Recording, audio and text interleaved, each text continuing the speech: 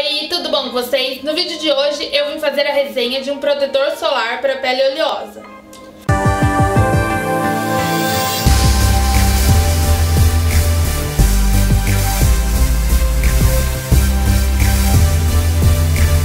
A função do protetor solar, além de prevenir o envelhecimento precoce, é, manchas de pele, queimaduras, ele previne o câncer de pele, gente. Então é essencial você utilizar o protetor solar para que daqui um tempo, no futuro, você não venha ter um câncer de pele em decorrência da exposição ao sol. Então é muito importante a gente utilizar o protetor solar. E não apenas o protetor solar facial, que é o que eu vou mostrar para vocês hoje, mas o protetor solar corporal também.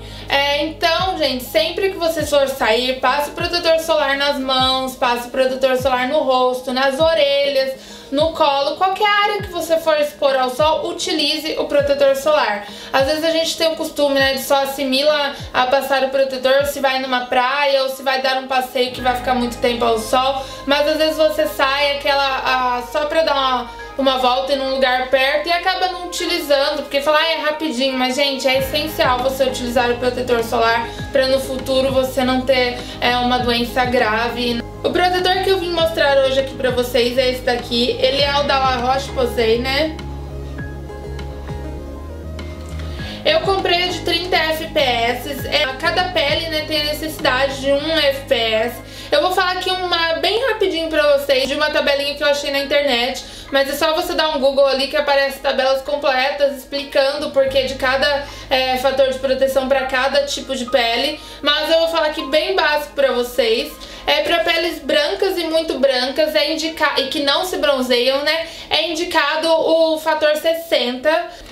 Para peles morenas e morenas, ligeiramente morenas, né, e que se bronzeiam, mas também se queimam, é indicado o fator 30, que é o meu caso. Peles morenas e negras, né, que se bronzeiam e raramente se queimam, é indicado o fator 15.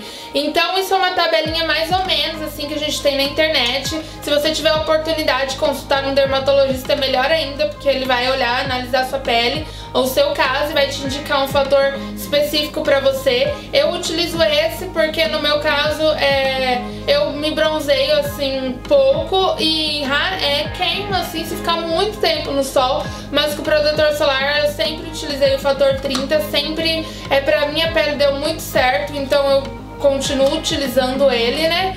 É, esse daqui eu vou ler a embalagem pra vocês, a descrição do produto, que ele promete. E vai ter um videozinho aí de eu aplicando ele, mais algumas considerações, mas por enquanto vamos falar do produto.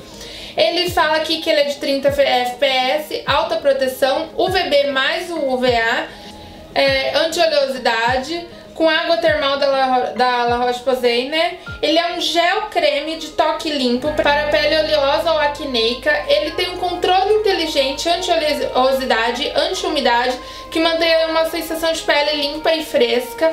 É, assim que você passa, a pele realmente absorve, você quase não sente mais ele. Ele tem essa textura de creme mas ele não chega a ser um gel que fica que, que você sente aquela, tipo uma película em cima e não chega, chega a ser um creme que você sente. Ele realmente, você põe na pele, ele absorve parece que não, você não passou nada.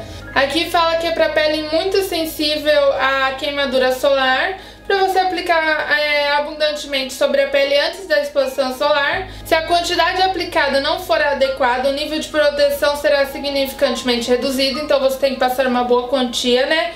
É necessária a reaplicação do produto para manter a sua é, efetividade. Reaplicar sempre após a sudorese intensa, nadar, banhar, secar-se com uma toalha e durante a exposição ao sol. É, aqui fala para crianças menores de 6 meses consultar um médico e essas coisas assim. O abuso do sol é perigoso. Aqui fala para evitar o contorno dos olhos e em contato com, com ele, né? enxaguar abundantemente. A falar a verdade, quando eu vou pra academias, eu não levo ele pra ficar reaplicando, porque eu, sei lá, ficou com preguiça, mas eu volto com sombrinha. Então, se você vai suar muito, você tem que reaplicar o protetor solar, porque o suor tira, né? Então você vai perder a eficácia do produto. É, aqui fala pele sem brilho, sem toque, engordurado, sem sensação de filme oleoso. Realmente, é, você não percebe nada na pele ele tem esse Atelius arlicium aqui, que fala que são micropartículas é, matificantes encapsuladas em 99% de ar, sem pesar sobre a pele e oferece um controle inteligente do brilho ativado dinamicamente toda vez que a pele produz oleosidade ou umidade. É, para pele oleosa, acneica, sensível ao sol, pele muito sensível à queimadura é a indicação dele, né? Proteção ampla, reformado contra, reforçado contra os raios UVAs para prevenir o fotoenvelhecimento, enriquecida com água termal e reconhecida pelas suas propriedades antirradicais livres e suavizantes. Resultado, a pele é protegida e todas as causas do brilho, oleosidade e umidade são controladas, proporcionando uma sensação de pele limpa e fresca. E aqui tem é, a lista de ingredientes deles. Eu gostei muito desse protetor. Em relação à oleosidade, eu já utilizava um que controlava a oleosidade. É, não senti assim uma grande diferença da pele ficando super, super diferente, tipo, muito mais seca que o normal. Porém, ele continuou controlando a minha oleosidade excessiva com, com eficácia. É, na maquiagem ele não interfere, o toque continua o mesmo, pra mim eu não senti diferença. É, na academia, que eu faço academia, eu sou bastante, ele não fica marcas brancas de escorrido, nada. Não arde o olho, a hora que escorre o suor, não arde. Então, eu gostei, pra mim foi um protetor solar aprovado. É, a marca é uma marca conhecida, né? A gente sabe de cuidados com a pele. Então eu optei por comprar esse é, pra testar. E eu tô muito satisfeita com ele, né? Vai ter um videozinho de eu aplicando o protetor é, sem maquiagem pra vocês verem a textura, ver como que a pele absorve, como que ele absorve rápido, que foi assim o diferencial desse protetor pra mim, né? A pele parece que você não tá usando nada, que o outro que eu usava não ficava oleosa, mas você sentia ali que tava utilizando. Então essa eu, esse foi o grande diferencial neste protetor aqui que eu achei. É, aqui no vídeo eu não passo no colo nem nas orelhas nada, porque eu tô gravando dentro de casa, eu não tô... Depois acabou aqui, eu vou tirar essa maquiagem, vai sair tudo.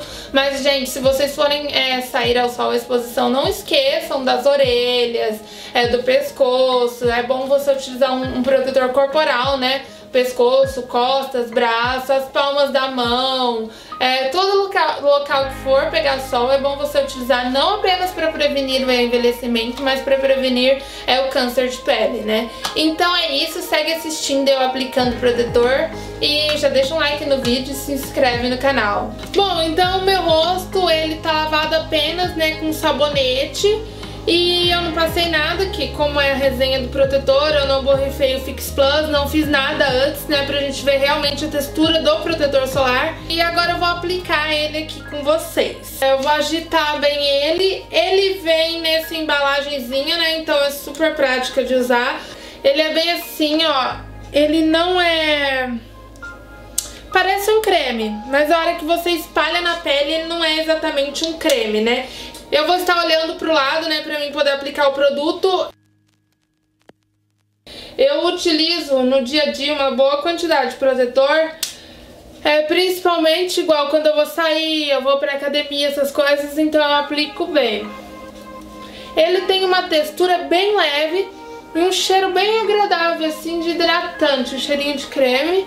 Conforme você vai passando, ele a pele absorve bem, ela não fica grudenta, não fica nada, nem parece que você está passando é, um protetor solar.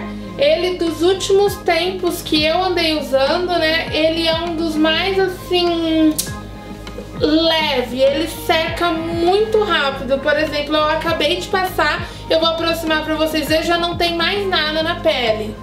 Ó, eu acabei de passar ele e não tem, não tá grudando, ó.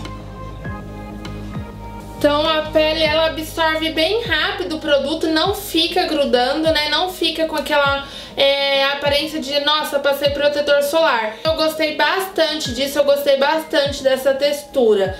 É, o outro que eu utilizava também não era grudento, porém não era tão assim seco, não era absorvido tão rápido quanto este daqui é, né? Então esse é um ponto positivo, eu tô gostando bastante. Agora eu vou fazer uma maquiagem, né? Vou fazer a minha preparação de pele normal. E aí eu volto aqui pra encerrar o vídeo pra vocês e mostrar se ele altera por um acaso o aspecto da maquiagem em si, né? Bom, então é isso, a maquiagem está finalizada. Eu não noto nenhuma diferença na textura da minha pele com ele. Ela continua sequinha, eu já testei ele antes e assim, ele segura a oleosidade um pouco, então não é aquela grande diferença é, do que eu já tô acostumado a usar, porque eu tenho o costume de preparar minha pele bem direitinho, é, com tônico, protetor, o hidratante. Então hoje, no caso, eu utilizei ele direto na pele, ele puro, sem borrifar nada antes, pra não alterar a textura, pra vocês conseguirem ver, ver direitinho, né? Então eu não noto no dia a dia, assim, que ele altera é, o resultado da maquiagem, dando uma grande diferença não, pelo fato de ter vários produtos ali junto, então nisso ele não interfere. É, no toque assim, ele na hora que você passa ele fica bem sequinho, agora com o resto da maquiagem eu não sinto diferença nenhuma.